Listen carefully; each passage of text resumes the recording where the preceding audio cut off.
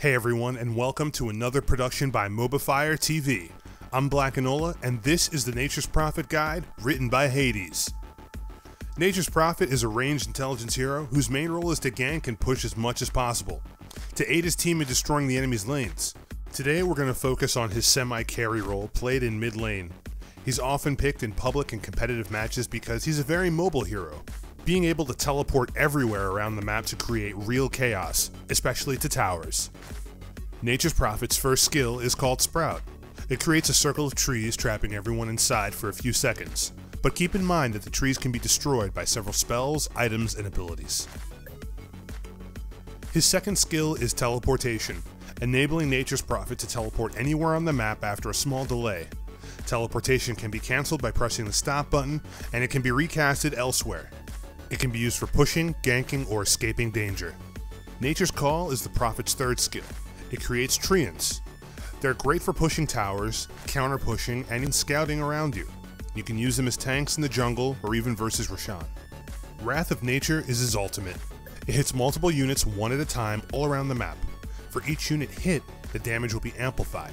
This skill is great for helping your teammates kill someone from around the map and also for pushing and farming lanes. Start out with one point in teleportation. Since you'll be going mid, there might be a first blood attempt, and you should teleport in and help your team win the battle. Continue by leveling up Nature's Call, which you'll max by level 7. This will be great for pushing early towers, which means early gold for your team and map control. Moving on, max teleport next. Every level up, the cooldown will be shorter. This will allow you to teleport around the map as much as possible, pushing, ganking, and annoying the enemy. Last, max out Sprout and your ultimate whenever necessary. Since you'll go mid and want to push early with your team, pick up a Ring of Basilius and a Tango. Don't forget to keep your ring enabled while pushing. It gives armor to your allies. Get all the last hits you can, and grab your Boots of Speed, which will help you with ganking. If you're doing well, you can get a headdress as well to help pushing even more. By mid game, you and your team should have destroyed some towers and made some nice ganks so far, so you'll want to use your gold to get a Mekansm, which will greatly help your team in fights and pushes. Also, upgrade your Boots of Speed to Power Treads. Some extra stats and attack speed will make you a little better.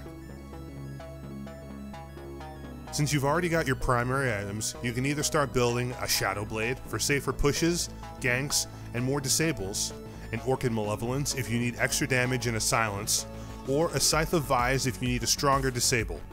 Even Necronomicon if you need more pushing power and some mana burn with some True Sight.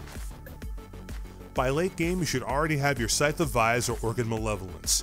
You'll want to get some more damage to take down the enemy team's farm carry as soon as possible, so pick up a Desolator, which will also help you with melting down towers, as the armor reduction from the item really hurts on buildings as well. If you need more durability and damage, pick up an Assault Cuirass, which will help your team melt through the opponent's armor. If you miss too much, you can pick up a Monkey King bar, which will fix that problem, and also give you a big damage boost.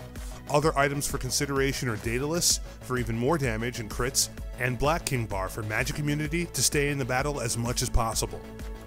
The early game is pretty simple. All you have to do is farm as much as possible in mid and avoid getting ganked and killed.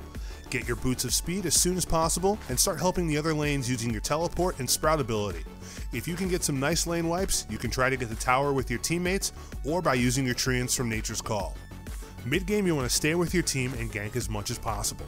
Take as many towers and objectives as you can. Take whatever advantages you can get from the enemy team.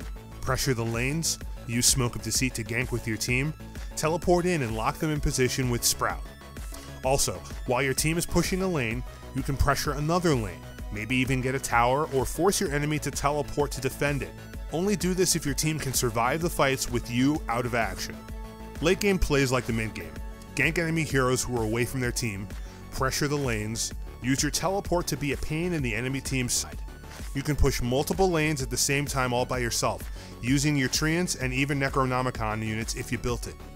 Also, don't gank by yourself. Don't risk dying.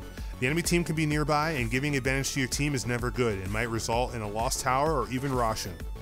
Thanks for watching, and remember to subscribe to MOBAFire TV. If you want to see a guide for a specific hero, let us know. MOBAFire TV is sponsored by PDP Gaming Hardware.